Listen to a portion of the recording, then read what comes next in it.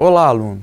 Bem-vindo à disciplina Sistemas de Informações Gerenciais, nesta reoferta do curso Tecnólogo de Análise e Desenvolvimento de Sistemas. Sou formado em Engenharia da Computação pela PUC-Rio e mestre em Ciência da Computação pela Universidade Federal Fluminense. Possuo mais de 10 anos de experiência de trabalho na iniciativa privada e hoje sou professor efetivo do IFES. O aluno do TADES é apresentado durante o curso a matérias como banco de dados, programação, lógica, dentre outras. Cada uma delas foca uma parte do conhecimento necessário ao profissional.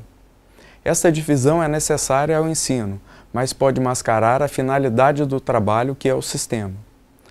O sistema é o todo do qual fazem parte todos os algoritmos, tabelas, funções. A matéria Sistemas de Informações Gerenciais tem o objetivo de afastar-se dessas partes para mostrar a visão geral, ou seja, o todo. Conheceremos, portanto, a organização e seus sistemas. Lembre-se que a organização e constância farão com que seu estudo seja mais eficiente. Então, consulte regularmente sua agenda e não deixe a matéria acumular.